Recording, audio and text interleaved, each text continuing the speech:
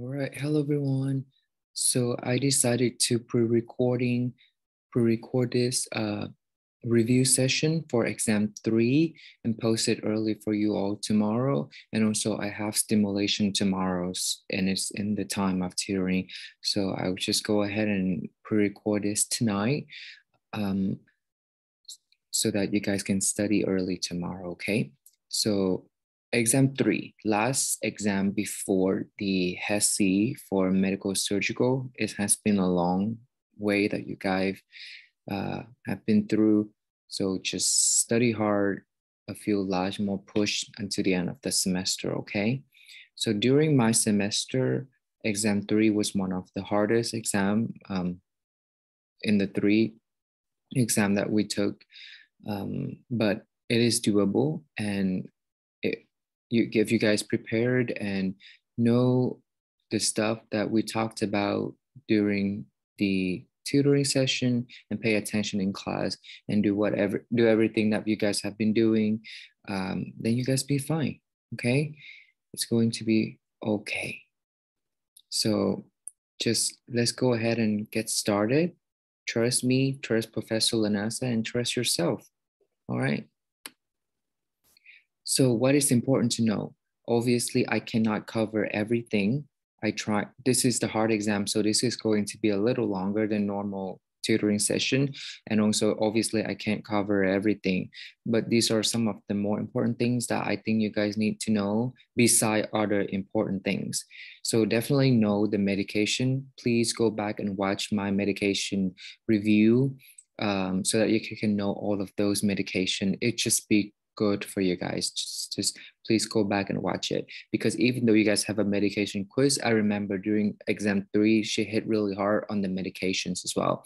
So please go back and learn all of your cardiac medication, all of your GI medication, pay specific attention to Sucralfate and TASs, know when to give them, why do we give them, what is their mechanism of actions, uh, no neuro medications as well, uh, mestinon, glaucoma medication, no stroke medication, the TPA. What is TPA? Thrombolytic, okay? No, it, no the ex- inclusion and exclusion criteria. So you guys also have to know the different disease in of the neuro chapter, know MS, um, MG, ALS, um, ground to brain, GBS disease. So know all of that. Also know the pre and post cataract surgery, pre and post operative of cataract surgery, know about stroke, know right-sided stroke failure, know right side stroke and left side stroke, um, PAD, peripheral arterial disease and peripheral venous disease, know the important thing about the of, of the disease, like especially the intermittent claudication. So we're gonna go all, of, all go over all of this and more during this tutor review session. Uh, just bear with me. It's, it's late at night, but um, I'm going to get this done um, so that I can review this material for myself and also can help you guys successfully uh, get through the class, okay? You guys got this. All right, first thing first, cardiac chapter. Uh, what factors that affect cardiac output. So please know preload and afterload. Again, preload is anything happens before it gets to the heart. So it's the volume that go into the inferior and superior vena cava, go into the right side of the heart. So anything happens before it gets to the heart is considered preload. So usually issue with preload are too much fluid or too much volume. So how do we fix the preload issues, which is also known as fluid issues? We give them diuretic so reduces the volume that that go gonna go through the heart. So often preload is increased because we have too much volume or regurgitation of the valve or heart failure. Regurgitation of the valve meaning that the valve is not closed strong enough uh, that causes backup of fluid into the uh, previous chamber and cause an increase in fluid in that chamber. And also heart failure causes backup of fluid, correct?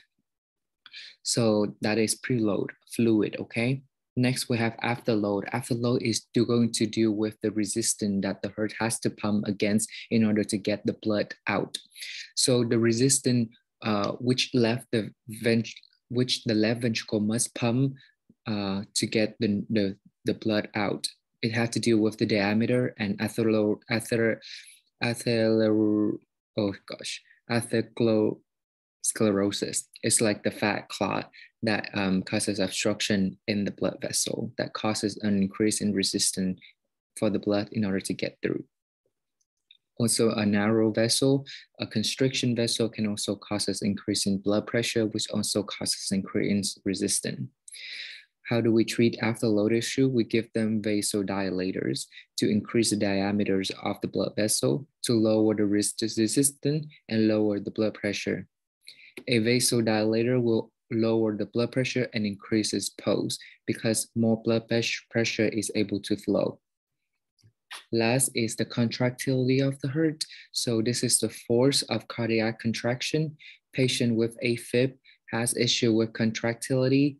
AFib heart does not pump effectively.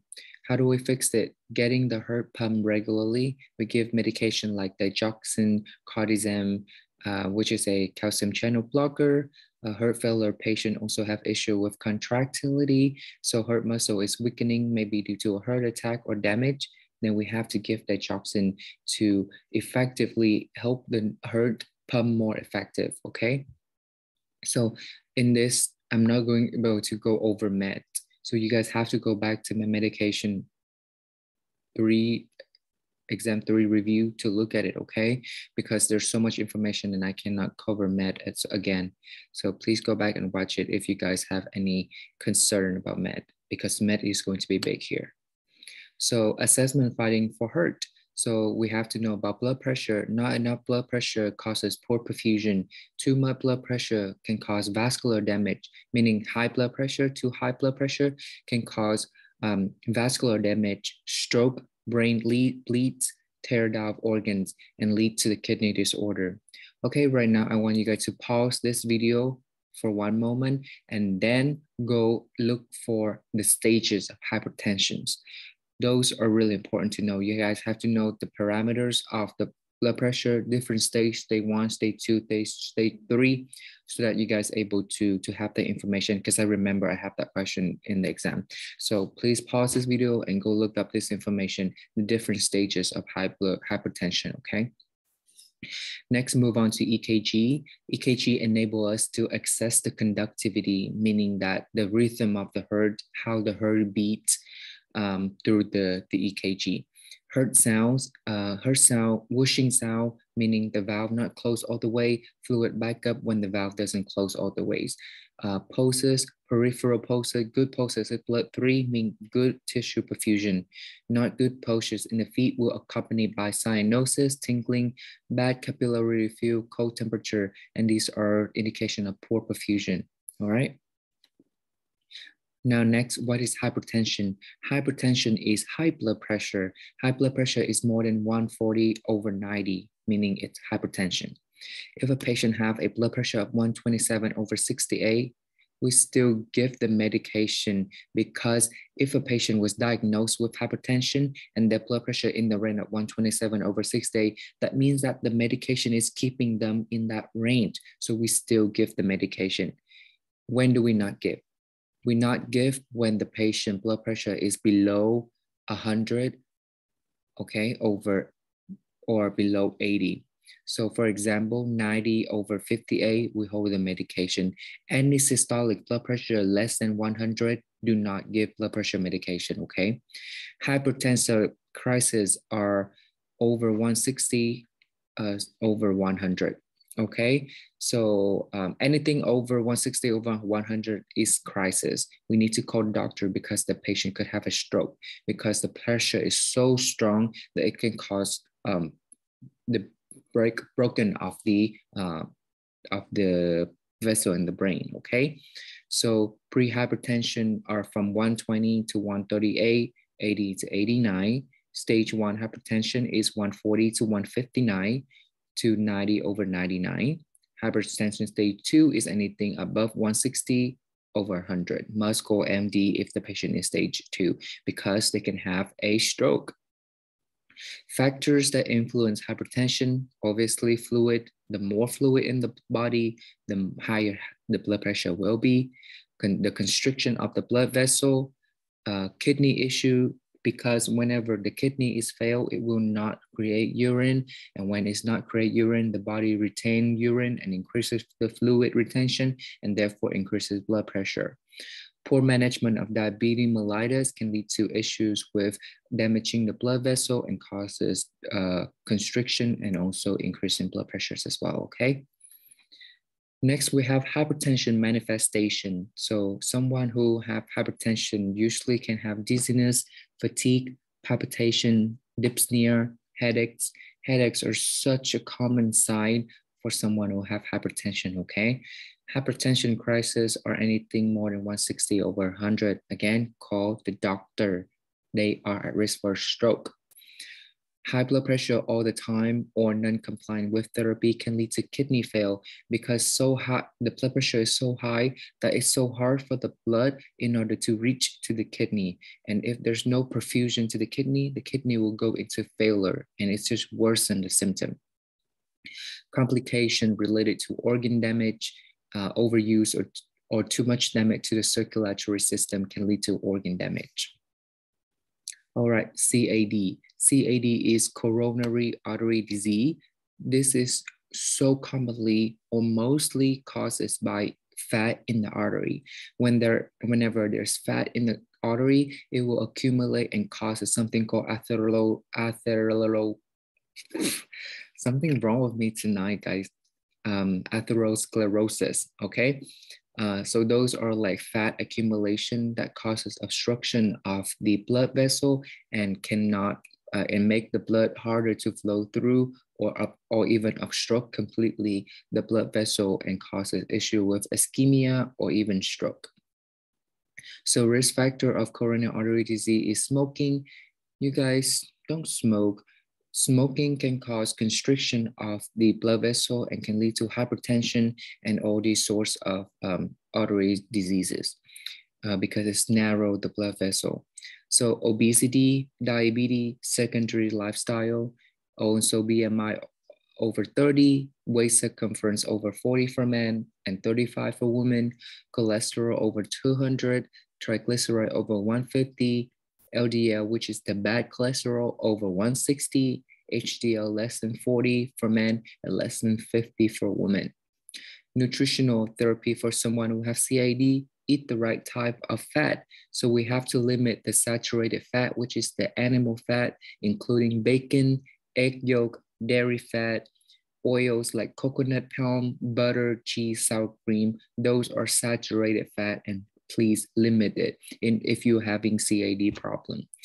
Use primary polyunsaturated fat like vegetable oil, fish oil, nut, seed, margarine, margarine. Uh, use also monosaturated fat like fish oil, avocados, nuts, and olives. So those are healthier type of fats. All right, next we have lipid lowering therapy. These can be used to break down the atherosclerosis in the body and um, it help breaking down the fat in the body as well. So big things about fat is it can damage the liver. So when the patient on statin, we have to do the liver function test, evaluate liver function test about every six months. Statin is given in the afternoon about at one. All right, next we have heart failure. Heart failure is because of the muscle is weakened because the heart has been overworked. Now it is enlarged and is not pumped as effectively anymore. So heart failure and heart attack are two different things. Heart attack is there's no oxygen or blood perfusing the heart, whereas heart failure is because the heart cannot pump or put out adequate cardiac output. So patient had lost a fluid volume overload that causes the heart to enlarge and be weakened or the heart get infection and the heart muscle got weak. Heart failure can cause excess fluid volume, the heart not pumping effectively to meet the body demand. And because it does not pump effectively, it causes blood stasis, which is pulling of the blood in the chamber and also backup of the fluid. So we have to report a weight gain of three pounds in two days or more, okay? Three pounds or more in two days to the doctor. There are different type of heart failure. The first is systolic heart failure, which is the left sided of the heart. So this is most commonly caused um, left ventricle unable to overcome the pressure to eject blood into the aorta. This can lead to dyspnea, difficult breathing, fluid in the lungs, because all the blood is back up into the lungs. So because of the heart failure. So that's why the lung gets so full of fluid and they, they can have blood thin sputum. The reason for this is because um, the alveoli is so full of the blood and the fluid that it burst when the patient cough and when the and then um, it, when the patient cough it can have blood thin sputum in it because the alveoli is burst because of it's so full all right, next moving to diastolic heart failure, which is right-sided heart failure. These are impaired ability of ventricle to relax and fill during diastole. So because the right ventricle is failing, so it causes backed up into the back into the body, which is back up from the inferior superior vena cava back into the rest of the body, right? So we will have peripheral edema compared to lungs and um, uh, lungs fluid in the lung like the left-sided heart failure. This patient also have a cyanosis and ascites. Ascites is fluid in the belly. Ascites can cause pain, obviously, difficulty breathing because the bigger the belly, the more obstruction it causes for the, the uh, diaphragm. So because the belly is full of fluid, the diaphragm cannot elongate it, cannot contract. So that's why it's hard to breathe for, for this patient. Then the, the doctor will have to do something called paracentesis, which is removing the fluid from the, uh, the belly, the stomach. All right, now is the peripheral vascular disease. Um, so this including arterial and venous. So please remember and know the difference between those two. So basically peripheral vascular disease is the narrowing of the arteries caused by atherosclerosis. Atherosclerosis, okay, I got it now. Lead to low oxygen perfusion, issue with perfusion to the feet. Assessment, the number one assessment finding of PVD, peripheral vascular disease, is intermittent claudication. This is cough pain. It occurred due to the muscle ischemia during exercise walk caused by obstruction of the arterial flow. All right, so exercise causes the pain. The oxygen does not go into the calf muscle, and it's gonna be going to be so painful when this patient walk. Okay, so intermittent claudication, aka calf pain, aka will be on exam, aka study. Paresthesia, neuropathy can be fueled by peripheral vascular disease as well core extremity with diminished pulse, atrophy of the skin, loss of hair, shiny, thin, torn skin, rest, pain, especially elevated position. And so depends on the, P, the arterial or venous peripheral disease, then when we de dependent dangle or lower, the patient can get red or pale, okay?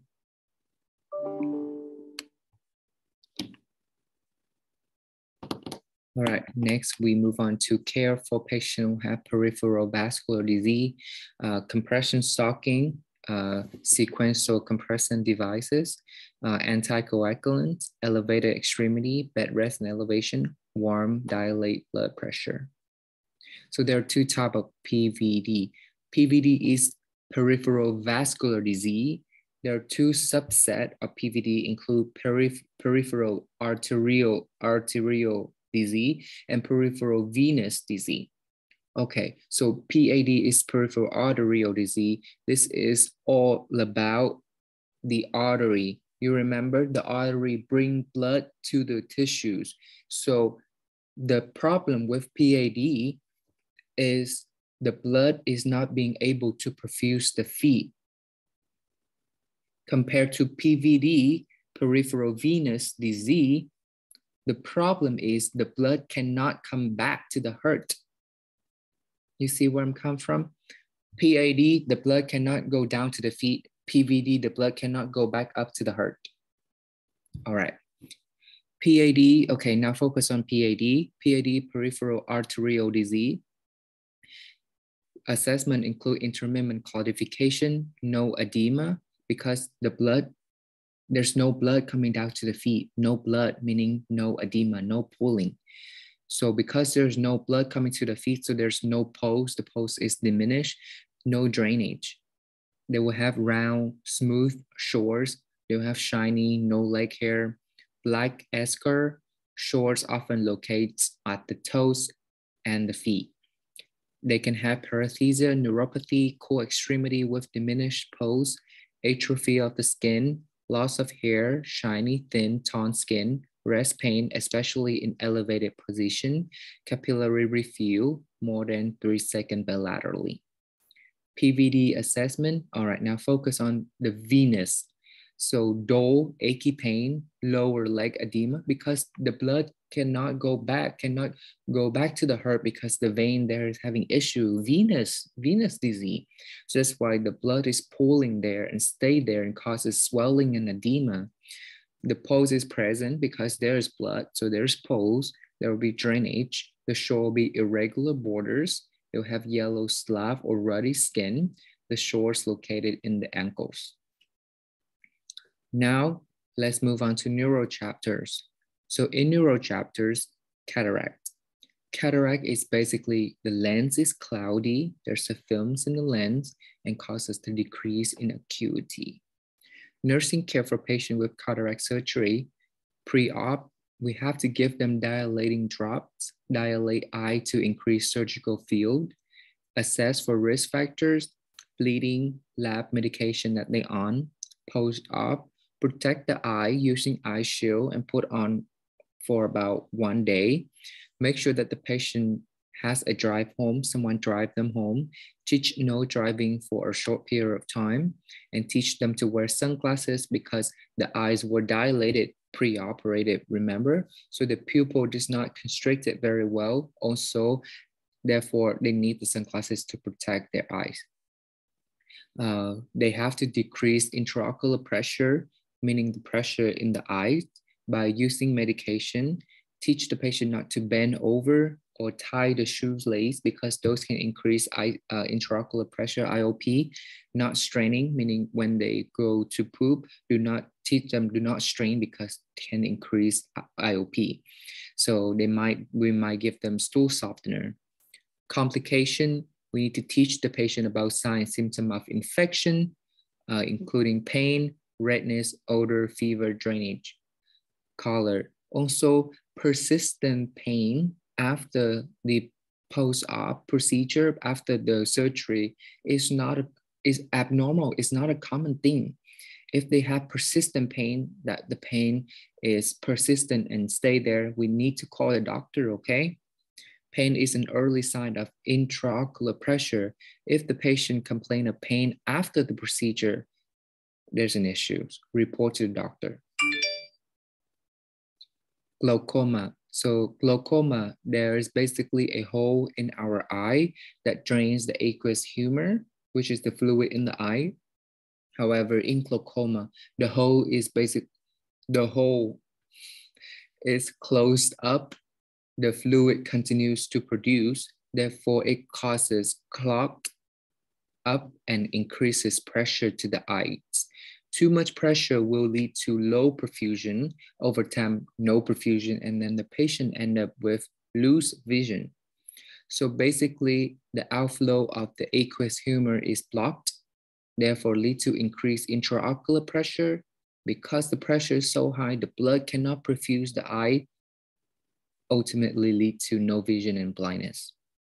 Manifestation of glaucoma, early sign is increased intraocular pressure, which can cause significant pain, decreased ability to focus, poor vision, heard at uh, headache, tunnel vision, and also how uh, we can evaluate these patient uh, glaucoma symptom by asking question like, are you having changes in your visual field? This patient can have changes in their visual field because the tunnel vision, remember, Later side of glaucoma include ocular pain, typically painless, but feel abnormal, blurred vision with halos around light, redness, dilate, non-reactive, nausea and vomiting, vision loss, and headache. So these are like late side. All right, now we move on to Ménière's disease, mini ears disease. So this basically the production, too much production or not enough reabsorption of the fluid inside the ear. The fluid also move back and forth. So these patients usually have a lot of vertigo and dizziness, and they also have hearing loss. So assessment is basically vertical dizziness, whirling. Whenever I hear about, no thing, see about Ménière disease, immediately associated with vertical dizziness and whirling, okay? Progressive sensory neural hearing loss. This is middle, middle ear signed. I don't know what it is. Please, I don't need, you guys don't need to know that. No, tinnitus. Tinnitus is a late sign of Ménière's pressure or fullness in the ears, nausea and vomiting is late sign. Treatment, ear drop to dry out the ear so that the fluid doesn't build up. There's no cure for Ménière disease. We have to teach them to adjust the diet, lower the intake of sodium. So by this point, I hope you guys already know that eating sodium can retain fluid in the body. So with a disease such as Ménière's where fluid is not reabsorbed and there's too much fluid in the ear, we have to teach them to stop eating too much salt. So lifestyle changes, okay? So now seizure and epilepsy. So basically about seizures or anything related to seizing, seizures, um, know that we have to remove harmful object. The bed needed to be in the lowest position. Turn the patient on their side so that if the patient vomit, they don't aspirate on themselves and they can the, the thing can get out instead of getting into the trachea to prevent aspiration. Patient need to be on seizure medication and they ne- cannot or should not never should never abruptly stop the medication.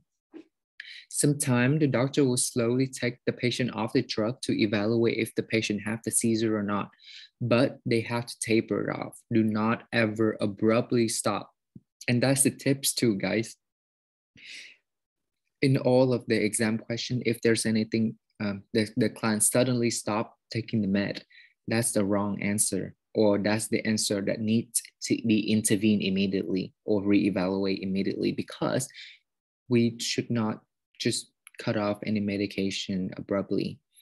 Bed always in lowest position for this patient, okay? One of the uh, main medication that usually be given uh, that given for seizure patient or active seizure patient are uh, lorazepam, which is an Ativan. All right, now we have multiple sclerosis. These are MS. So the patho is the damage of the myelin sheath, a known trigger that stimulate the immune system to attack the myelin sheath or the nerve. This is an autoimmune. Is when you guys hear the word autoimmune, please associate it with the body attack itself, increase in protein in the body because the body uses the, I mean, yeah, decrease in protein, not increase, decrease in protein because the body uses the protein to create antibodies. Antibodies are protein because the body uses protein to create antibody to attack itself. So not only we lose this protein, but we also being attacked by our by our body. So that's why it's called autoimmune. So please remember those two and associate those two when you guys hear the word autoimmune, okay? Assessment finding include muscle spasm, weakness, paralysis, parathesis, dysphagia, double vision, diplopia. Remember this. I reduces this the, the, the important assessment finding to this already. There's no cure for MS. The diet for MS is high protein, why? Because the body uses all of the protein to create antibody to attack the body. So that's why we have to supplement the body with protein so that we're not out of protein. B12 will help with anemia.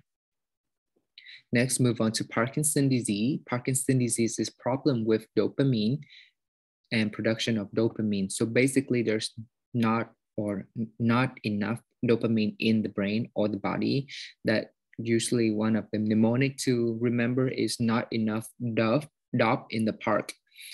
Um, key assessment finding is slow initiation of the movement, bradykinesia, tremors, shaking hands, short shuffling steps, stoop posture, mask-like facial expression, rigidity, and poor swallowing. So most common medication that we give to Parkinson disease is levodopa, Sinemet. These help with the patient help with the lack of dopamine that the patient has. So low, so the most important thing that to know about this medication is they have to follow a low protein diet because high protein will interfere with levodopa um, and does not allow the med to be absorbed in the body. Okay, so remember with MS, we have to give the patient a high protein diet. With Parkinson disease, we have to lower the protein in the diet. Okay, so completely different. So please know that. Now move on to MG, myasthenia gravis. So this is again autoimmune. Autoimmune, the body attack itself decreases protein in the body. So what do we have to do? Increase the protein in diet, okay? So in this case, instead of attacking the, the myelin sheath like the MS, MG, the body attack the acetylcholine. So the problem is weakness, progressive weakness. Biggest assessment is weakness. So muscle weakness will get worse with activity, can cause diplopia, dysphagia, impaired respiration, droopy eyelids, eyelids, incontinence. Biggest complication for these MG patient is swallowing and breathing. Now move on to ALS, also known as Lou Gehrig disease. Know both of the name, please. Often happen in young, active, healthy people. So no cure, fast progressive disease, progressive paralysis, meaning that the, paraly the paralyzation moving from the feet, moving um, progressively, okay, eventually will cause respiratory paralysis. So in this case, please know that the mental status does not change. They still there. It's just the motor function, the muscle are not working. No muscle are working, but the brain still working. So ALS people will lose motor function from feet ascend up to the lungs. They won't be able to walk, poop, pee, then finally breathe. So in order for them to live, they have to rely on a machine to keep them alive. Priority meaning uh, are maintaining the airway, suction PRN, intubate the patient, monitor for pneumonia and respiratory failure. Next, we have Alzheimer's disease. Alzheimer's disease is forgetfulness disease, right? So irreversible cell degeneration progressive forgetfulness, how to help family to cope with this. Routine is the key thing in Alzheimer's disease. Keep the same routine will help remembering, decrease anxiety in Alzheimer's patient. These patients get very anxious when taken out of their routine and not able to sleep. Also, every task should, the step should be broken down one step at a time and also talk leveling eye with the patient and talk in normal tone, okay? Family picture will help routine of when we get them to the bathroom to prevent incontinence. So everything about routine and the steps to be broken down one at a time. Keep routine so that the patient don't feel like they are losing their control. Now is the GBS ground to brain paralysis. So neurological demyelination of motor neurons which control muscle movement. So GBS and ALS, which is the Leber disease. So these are kind of similar, right? They both progressive paralysis of the motor of the muscle.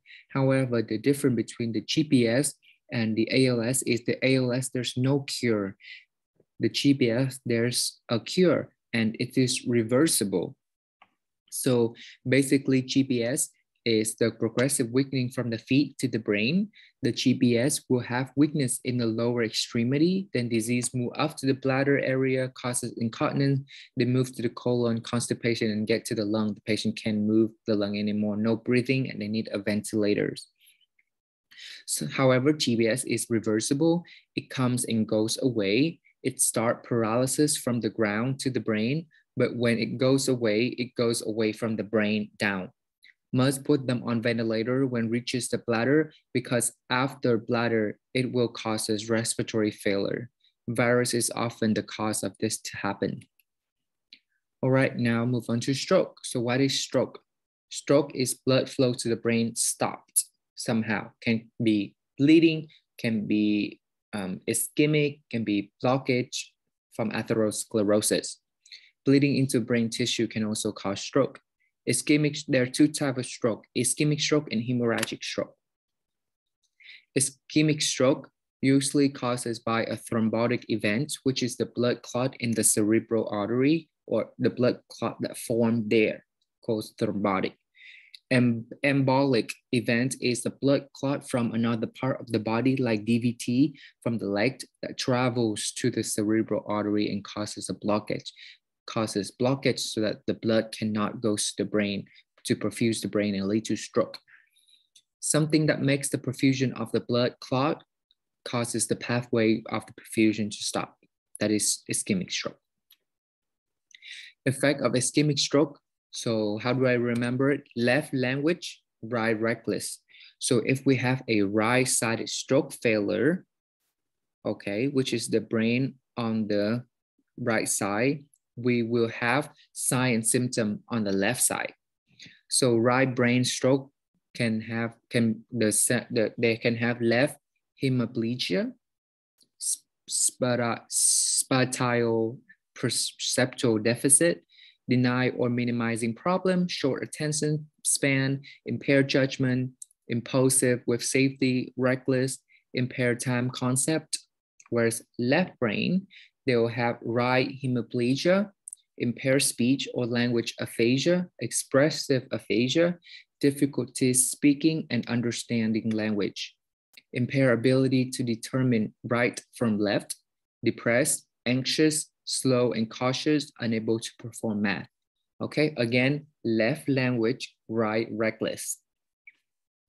How do we know if a patient have a stroke? So we do something called FAST. Know this, okay? It's, I think it will be on the exam. Um, facial, drooping, not symmetrical. Maybe one side is not working, like they'll have like smirk like this. Arms, weakness on one side, unable to raise the arm even. If the raised arm, if raised arm even, there's no stroke. Like we ask the patient, can you raise arm and it's raised arm even and no stroke. But if they, they raise one arm and the other arm is like this, then we might, we have to move on to the next step of fast and um, they are high risk for stroke, okay? So unable to grasp my hand or and unvenous of both sides. This goes for the feet as well can be indication of stroke. Speech, it can be slurred, incomprehensible, mumbling, what is your name? Then they answer ice cream cone. They can have aphasia, expressive aphasia, and we have to note the time when this is happening and call a stroke alert. How do we diagnose a stroke? Firstly, we initially, we do a CT scan. If a patient have a sign symptom of stroke, when this happen, time is key. We want them to be treated as soon as possible. Remember, there's only the window of three hours that we can give the TPA to treat ischemic stroke. So that's why time is key. Diagnostic done as soon as possible because CT scans show which type of stroke they are having. It determines the treatment for the patient, hemorrhagic or ischemic. No CT scan, no treatment. Sometimes CT scan doesn't show that the patient having a stroke, but we're concerned that they still might having a stroke, we do MRI for more definitive, um, but we don't do it at first because MRI is expensive. Then we do Doppler or carotids. This would tell if there's clots in there. Tell if we have perfusion to the carotid as well.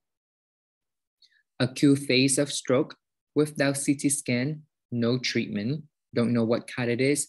So give drug, TPA, heparin, Coumadin, Plavix, aspirin, Ticlid, these are all anticoagulant, which is thin the blood. So this drug cannot be given to a hemorrhagic patient because it could kill them. So TPA, this is very important to remember, okay? If the patient have an ischemic stroke, we will evaluate to give TPA. TPA is an anticoagulant specifically, it is a thrombolytic, which is what does it mean? Is it's lies it break down the clot. So um, Mudd made assessment before we administered the stroke. So inclusion criteria include ischemic stroke onset within three hours. If it is outside of three hours, they're not qualified to get this medication anymore. CT scan confirmed that this is an ischemic stroke, measurable deficit, deficit on IH stroke scale examination. They're over 18. If they met all of these, give the drug. Exclusion criteria include if the patient's symptoms are minor, rapidly improve, will not work. Patient has seizure at onset of stroke. Patient's systolic blood pressure is higher than 185, which can increase risk for hemorrhagic bleed. Patient diastolic blood pressure higher than 110, then we do not give this med as well. Labs, if patient received heparin within the last 48 hours and has elevated PTT, the blood too thin to take this drug, so we do not give it as well. PT time is more than 15 seconds, platelet less than 100,000, glucose less than 50 or more than 400. Patient has another stroke within the last three months, major surgery within 14 days. Do not give the drug. All right, now we have hemorrhagic stroke. So hemorrhagic stroke sign symptoms are uh, bad headache. They can have nausea and vomiting as well. If patient has an aneurysm, a big pouch of weakening uh, inpatient vessel in carotid or in the brain, we can surgically clip those, take the clot out, put the coil to strengthen the areas, keep the structure strong.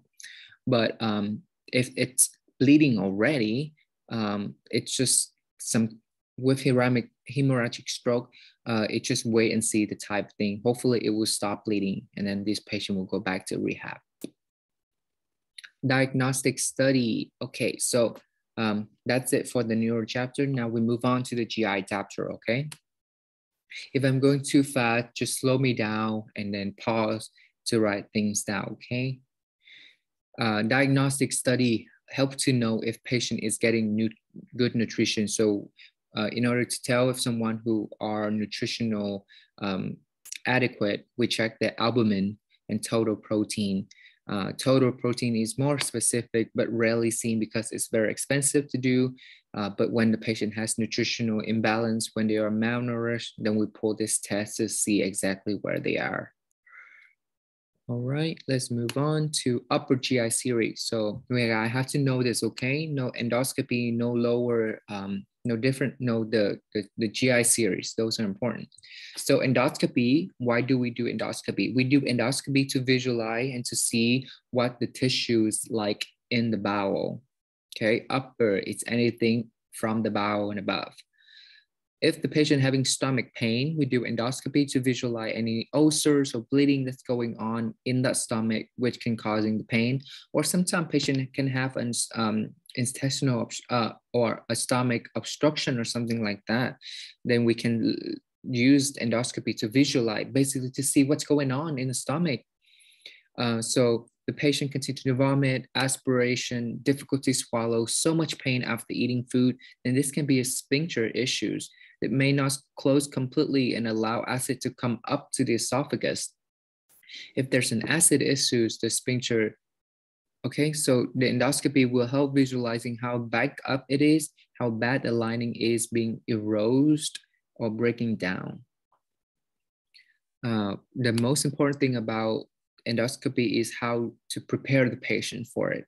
So we have to make sure that the patient has been NPO at least for eight hours, teach them what are going to happen, teach them that you won't get to eat afterward because lidocaine is sprayed into the back of the throat to numb the back of the throat. The gag reflex so that they can have the scope into the esophagus, meaning that uh, when during the surgery of the endoscopy, the lidocaine is sprayed into the back of the throat, and they have the visual the visualization scope go straight into the oral cavity, into esophagus, and into the stomach. Um, so that they can visualize. So we have to teach the patient what's going to happen and explain that. And then also different medication that can make the patient drowsy because the procedure is a little invasive. So after the procedure, there's no need for swallow test before they can eat again, but we have to check if they have their gag reflex back. If they have the gag reflex back, then they can eat and or and meaning that the patient can have a, can swallow their saliva.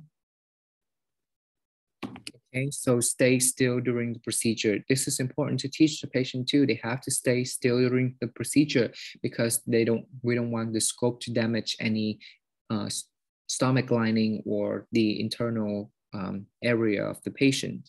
Also, complication for endoscopy can cause an aspiration. That's why we cannot have food until gag reflex come back. Now, which is the lower GI series, these are a little bit easier to remember. Colonoscopy, so it's basically the visualization of the colon.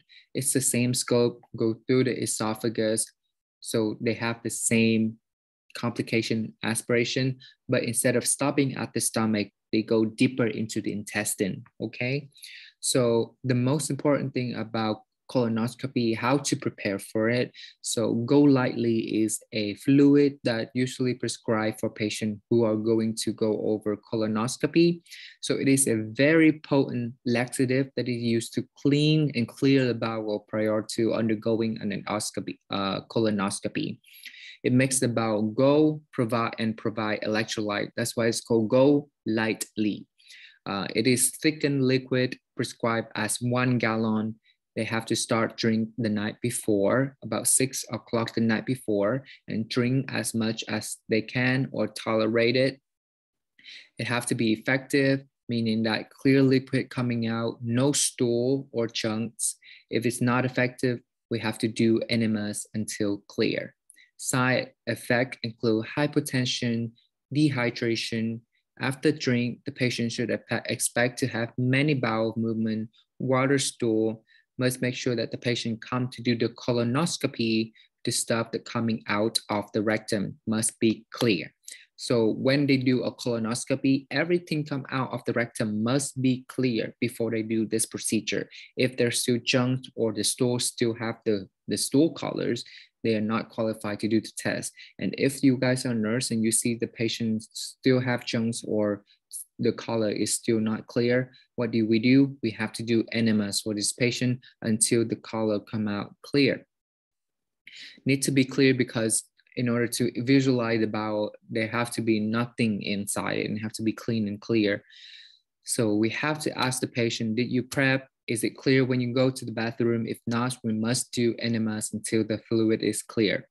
Complications include dehydration, electrolyte imbalances, GI system can cause excessive diarrhea, excessive vomiting. Always look at potassium and sodium. Okay, so if someone who have excessive diarrhea, what kind of acidosis or alkalosis that they may have, guys? Okay, pause this. All right, and then answer and then come back. So if someone who have excessive diarrhea, they will have they will have metabolic acidosis. Right? If someone who have excessive diarrhea, they'll have metabolic acidosis. The reason for that is because when we have excessive diarrhea, we lose a lot of bicarbonate, which is the HCO3, which can lead to um, ex, uh, lower the buffer and causes acidic in the blood. So excessive diarrhea lead to excessive, will lead to metabolic alkali, uh, metabolic acidosis, whereas excessive vomiting, okay, answer guys. Excessive vomiting can lead to metabolic alkalosis. The reason is because when we vomit, they vomit all of the acid in the stomach, which can lead to lowered acid content in the body and lead to metabolic alkalosis compared to metabolic acidosis and diarrhea. Okay. Um, sorry, I'll just go off topic, but yeah. Also look at potassium and sodium level as well, because when we diarrhea a lot, vomit a lot, when we vomit, we lose sodium. When we diarrhea, we lose potassium. GERD, okay, so GERD basically acid go up to the esophagus because of this poor sphincter control, which is the sphincter control or allow the acid from the stomach to comes up. The problem with the sphincter, weak sphincter, that's happened, what's happened in GERD. The patient will feel heartburn, chest pain. Sometimes the burn, the heartburn pain can radiate to the jaw or chest, may feel tight, makes the patient feel like they're having a heart attack. Chest pain, jaws hurting, chest from the reflux back up esophagus. Risk factor include age, sphincter issues, spicy food, caffeine, chocolate, carbonated drink, acidic food, tomatoes, and stress. Teach patients to modify modifiable risk factors. These include avoid spicy food, fat food, carbonated drink, acidic food, change the diet, sit up after eating, eat slower, small meal. So yeah, avoid lifting and straining. Uh, this can weaken the sphincter, uh, never have milk at night before bed because acid can boil the milk inside the stomach and curdle it. Patient wake up and will have horrible nausea and vomiting. So these patients need to be avoid chocolate, elevated head of bed 30 degree, not lying down for two to three hours after the meal, bed block, put pillow to lay up at night to late eight for digestion. Next, we have gastritis. Gastritis is basically the acid is wearing down the mucosa in the stomach and causes the red spot, and which is indicating that the lining was broken down. So if someone will have a red spot, that means that the patient is at tipping point of bursting and causing GI bleed. Um, so if they go to stage three, they can cause bleeding and die quickly. The goal is to avoid the red from bleeding or go into peptic ulcer disease. So peptic ulcer disease is the acid keep wearing down the mucosa and turning to stage three ulcer in the stomach, ultimately lead to perforated bowel GI bleed. Etiology is infection like H. pylori could contribute to PUD, lifestyle like too much stress or acidic wrong, or wrong food can causes PUD as well. Certain medication can also causes PUD. Assessment finding includes same assessment finding as gastritis, GERD, with the exception of the dysphagia. Clinical manifestation for PUD include, sometimes they can be asymptomatic at first, but then there's a bleed and then they'll have epigastric pain, black, back pain, dull, aching, burning pain, depends on the when the meal was digested as well. Heartburn, nausea and vomiting, melena, black tarry stool, coffee ground emesis, meaning that some kind of GI bleed in the upper belly that coagulate, and when the patient cough, they have coffee ground emesis. Seasonal drains, allergies. That's why we give histamine to receptor to some patients to help them with the allergy that causes with the acid production. There are two different type of PUD, depend on the location, make it easier to be either gastric make it either gastric or duodenal ulcers. So this is when the PU uh, peptic ulcer keep erodes and lead to ulcers. So with gastric ulcers, gastric is stomach, duodenal ulcer is the small intestine. So gastric ulcer is because the stomach comes first, so and up higher in the GI tract. So the pain with eating happens sooner. The pain is 30 to one hour after the meal. Food will make the pain worse. Food irritate the stomach. This will make the patient eat less, weight loss, burning, nausea, vomiting. Duodenal ulcer, um, because the, the small intestine comes second, it's at the end of the stomach. So the pain is two to three hours after the food. Food can relieve, make heartburn, dull pain feel better. This will make the patient want to eat more so that they can feel good, gain weight, burning, nausea, vomiting intervention for PUD patient. Patient has acid reflux issue that can cause them to have an ulcer that bleeds. Need to be be putting these patients on NPO. If they have a GI bleed, we put them on NPO. When the patient don't eat, they don't produce acid. And if there's no acid, there's no erosion of the mucosa put the patient on NG tube suction because we don't want those blood to sit, sit in there. We have to suction them to take up the acid and allow the stomach to rest and heal. Uh, we put the patient on IV fluid to hydrate the patient and stop smoking. Biggest complication from PUD include hemorrhagic, most common bleeding, coffee ground emesis, black tarry stool, that was when the ulcer has worn away so much that it causes bleeding. perforation. This is the most lethal complications, leaking stomach into the peritoneum, poop into the peritoneum. Okay, because when it's perforated, there's a big hole, so everything inside the stomach or the intestine can go through the hole, including poop and food, and can cause sepsis. Uh, okay, and eventually death. Both are considered emergency situation. Perforation will lead to an emergency surgery because risk of septicemia. Sign symptom of perforation. So sign symptom include persistent pain, no bowel movement because it goes to the wrong spot, fever, late side, gut already infected, rotten, which lead to infection and sepsis. Sudden traumatic onset pain spread all over the abdomen. They'll have tachycardia, weak pulse, because perfusion does not go to the gut. They'll have rigid board-like abdomen muscle because of the feces and gas, all of those things. They'll have no bowel cell, mobility is absent, nausea, vomiting because the stool is backing up and lead to vomit. Right, right now we have to inflammatory bowel disease. So there's two type of inflammatory bowel disease, ulcerative colitis and Crohn disease. It means that the gut is inflamed ir- and irritated. There's don't know why because of this irritation, the gut does go to hyperdrive. So these patients who have inflammatory disease, they can go to have diarrhea like a lot of times a day, like 20 times a day.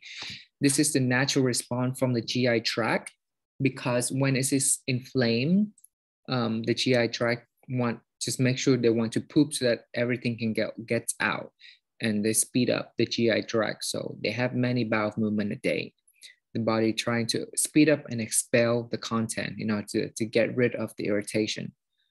Biggest complication is dehydration because they excessively diar- have the excessive diarrhea, fluid volume deficit, and electrolyte imbalances.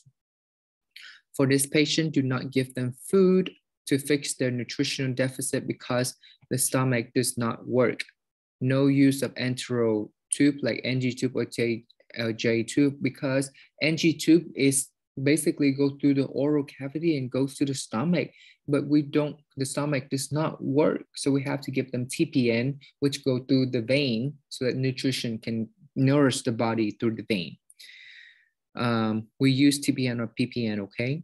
Uh, so there are two different ulcerative and Crohn disease. So ulcerative is happen at the top of the descending colon, where's the descending colon? This is in the large intestine. So ascending, transverse, descending, sigmoid, rectum. Yeah.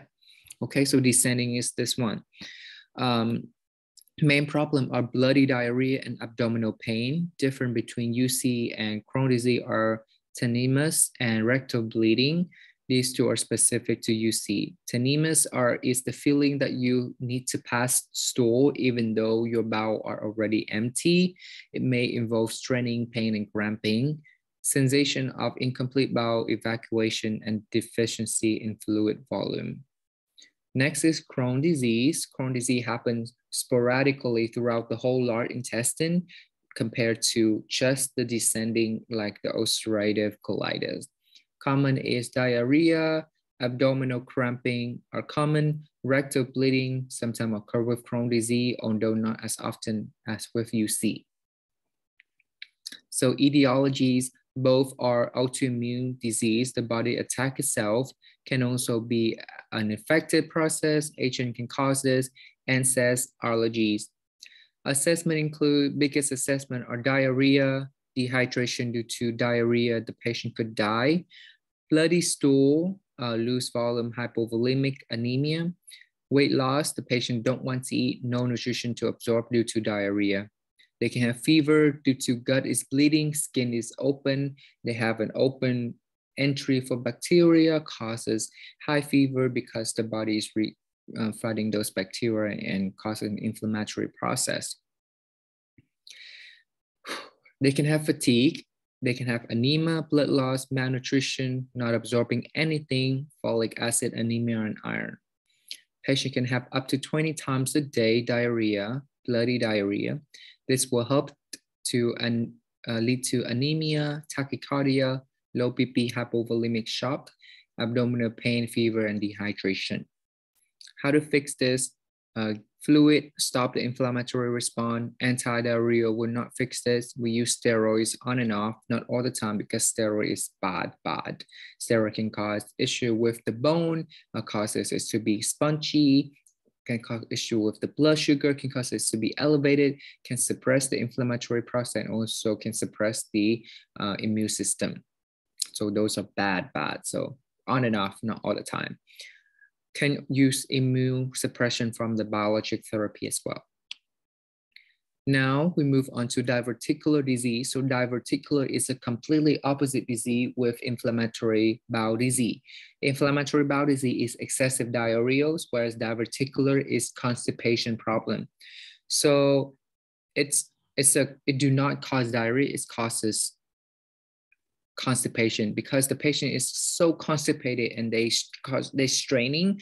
So th- there will be out pouches of the colon and these pouches got full of poop and this can cause infection peritonitis and wears away rot perforation. This will happen if we don't teach the patient to control the constipation. Crohn's and ulcerative are inflammatory bowel disease, equal diarrheas. Diverticulosis and diverticulitis are the opposite, a constipation problems. The goal, nurse do everything to keep them from constipated. These patients get so constipated that they strain and push to poop, causes the lining of the bowel in the rectum area to poof, causes pockets and all over the place. This could lead to infection because these pouches can get rotten and lead to perforation. Imagine the poop staying there for a long time. It can cause perforation and an issue with infection. So we must keep them from away from constipation. Keep give them more fibers, give them more water. Do not give them seed because those cannot be sometimes not be digested and can cause um, laceration in the stomach lining. I mean the intestine lining. Uh, good motility equal no stuck. Prevent constipation, get the patient poop, give them water, fiber, prevent infection, peritonitis, and perforation. All right, parenteral, parenteral nutrition. Uh, we give this for inflammatory bowel disease patient, okay, because the bowel is not working. This is the last effort when everything have tried.